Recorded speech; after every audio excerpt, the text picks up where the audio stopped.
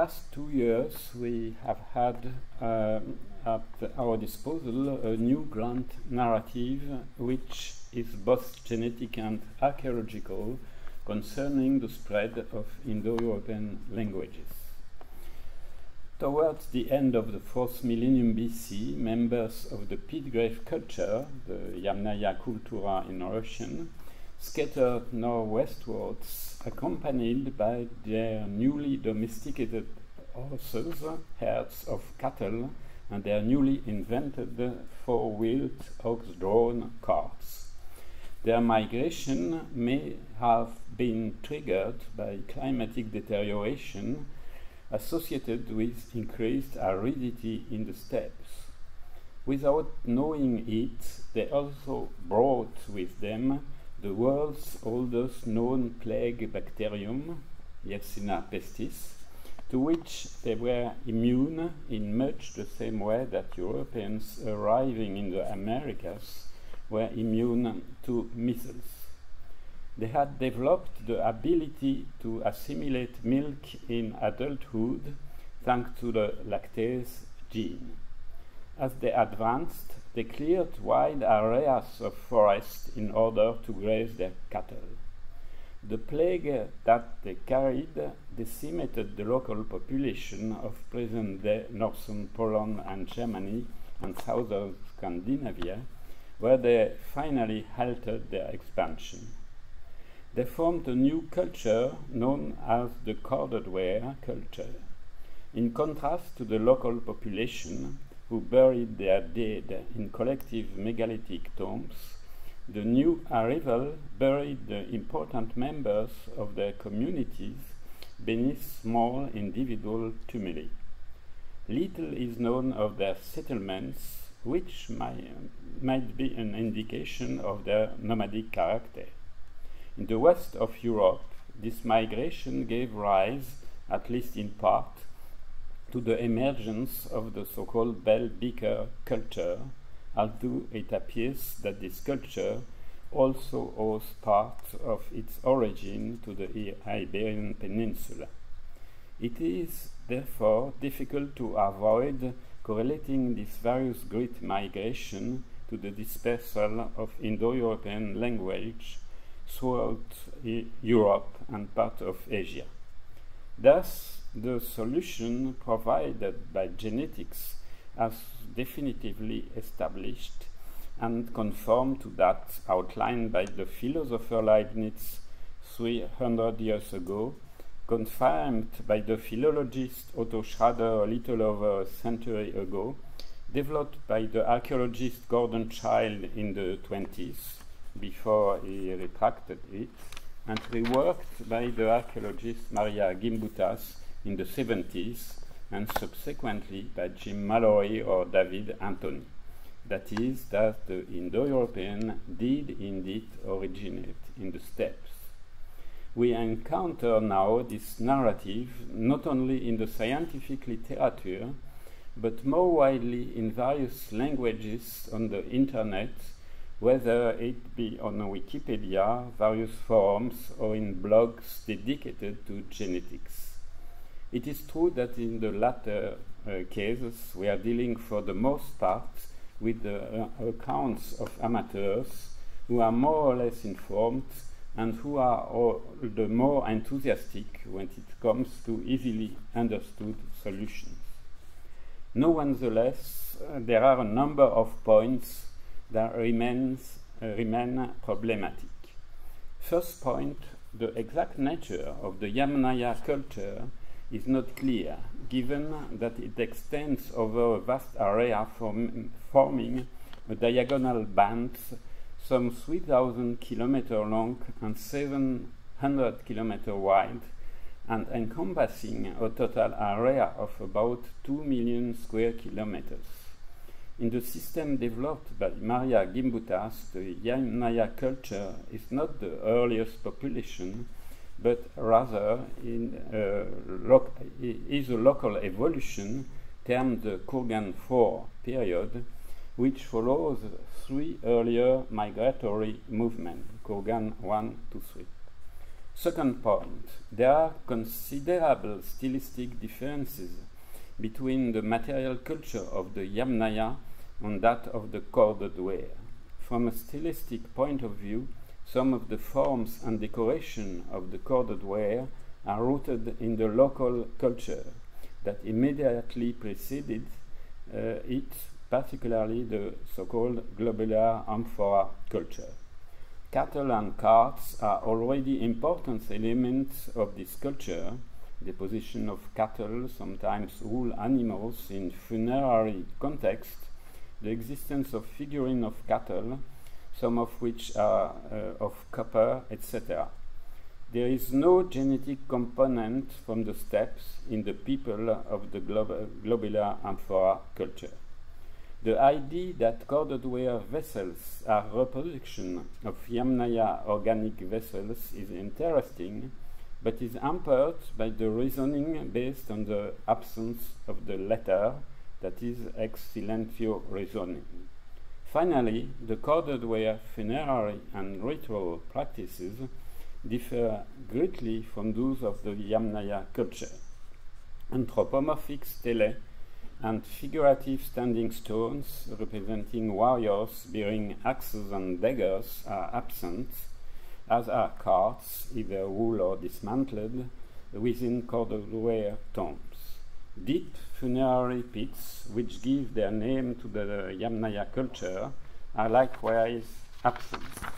Finally, the funerary ritual of the corded ware is much more strict and rigid than that of the Yamnaya culture, which tends to be more varied.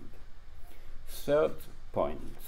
While funerary mounds or barrows are typical of elite tombs of both the Yamnaya and corded ware, they are not specific to these cultures. In fact, they appeared in different parts of Europe, including Western Europe, from the 5th millennium onwards that, that is from the point when marked social differentiation emerged on the continent. It is therefore an ubiquitous practice that occurs in very different places at different times. Four point. The hypothesis that the initial migration was composed exclusively of male warriors is also interesting but to date we have no archaeological evidence for a wide-scale massacre of local male populations. Furthermore, there is a lack of expert consensus regarding this subject, with the genetic sex bias proposed by one team of geneticists being refuted by one uh, uh, another team. In any case, genetic analysis reveals that the flu flow of genes from the south to the northwest, while massive, took place over a number of generations and was not a sudden event. As regards the association of this migration with the emergence of warrior initiation customs, which are attested to in historic, uh, in historic uh, times, well after the period in question, among several Indo-European speaking populations, we can only cite one archaeological example, that is the discovery of the remains of 50 dogs and 7 wolves deliberately beheaded at Krasno-Samarskoye near Samara in Russia. However, it has not yet been proven that this butchery had a ritual purpose and was not simply carried out to exploit the furs, as has been attested later, later during the European Iron Age, for example. Moreover, this site dates to the timber grave culture, the Srubnaya Kultura, some 1000 years later than the migration. Anyway, it is a common feature of, uh, of most human societies that male burials predominate in elite tombs. Fifth point, as regards exogamy and virilocality, this has already been demonstrated through strontium analysis carried out uh, at uh, Eulau in Germany, admittedly on a very small population, and on 60 individuals from the corded ware cemetery at Lauda Königshofen in Baden-Württemberg and at uh, in Bavaria, even though the re results are not always very clear-cut. However, exogamy is a very widespread phenomenon throughout the world, and it is difficult to determine, to determine a birthplace because different regions can produce similar chemical spectra due to their geology. Six points. Regarding diets, evidence from corded ware cemeteries indicating a combination of vegetal and animal food is not very different from that for preceding Neolithic societies. The diet was, in fact, far from being exclusively based on meat and dairy products. In addition, adult tolerance to lactose, thanks to the lactase enzyme, does not appear to have been genetically present at this time.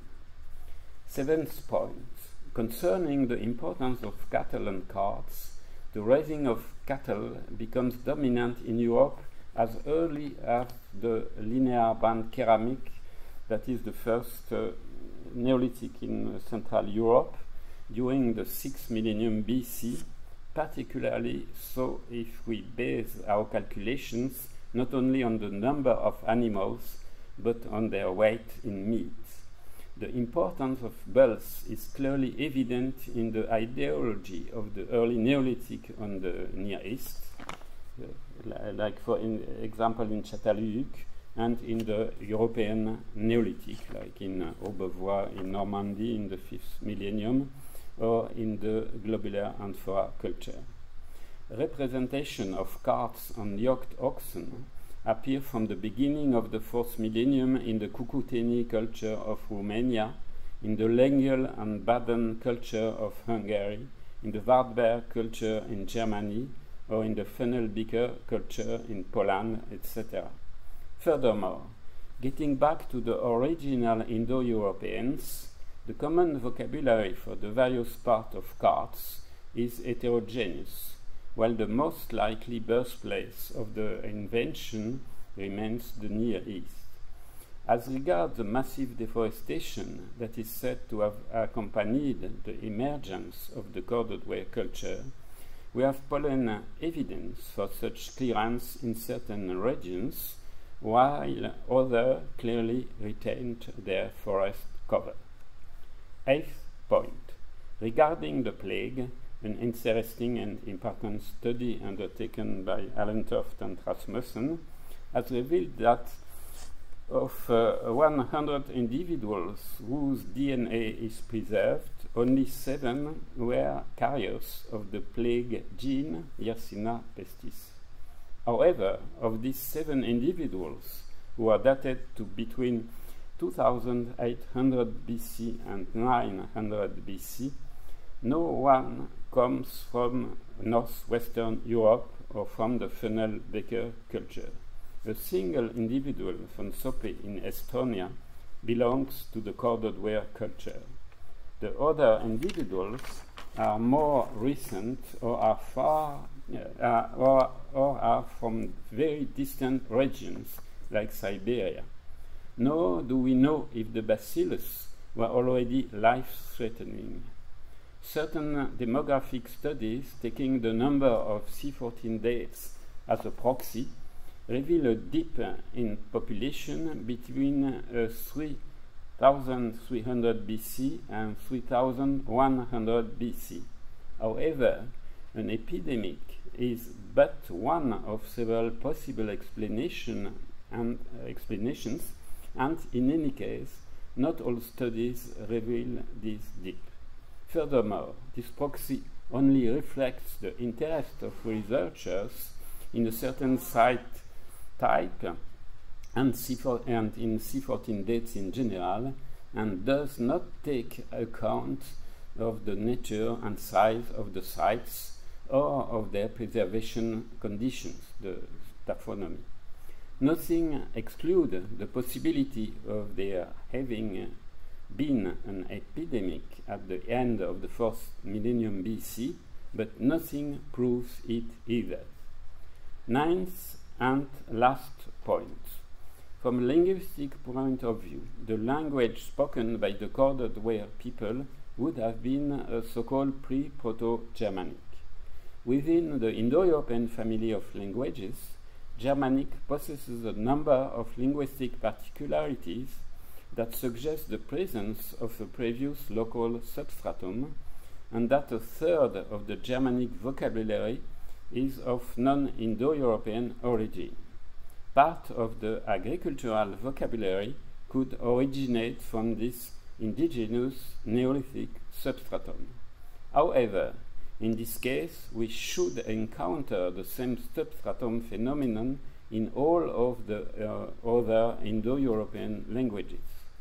Paradoxically, the only Indo-European migration that would be undeniable on the grounds of genetic and uh, linguistic evidence, that is the corded ware culture migration, would subsequently give rise to the most deviant Indo-European languages.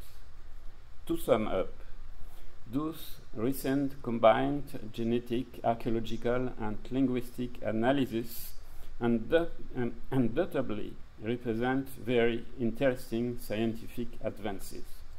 But it is important not to run ahead of ourselves and to avoid making the same mistakes as those made by 19th century racial anthropologists who sought to identify links between skull shape, culture, and language. Two cautionary examples can be cited. Haak's, Wolfgang Haak's team's seminal study reveals that in Europe today there is no genetic difference between populations who speak Indo-European languages and those who speak other languages like Basque, Estonian, or Hungarian. Likewise, the most recent study this year of the bell beaker culture has shown that part of this culture is of Iberian origin, while the other is Central European with elements from the steppes. However, they are all part of the same cultural universe. As a provisional conclusion, therefore, we should be optimistic, but while remaining cautious. Thank you very much.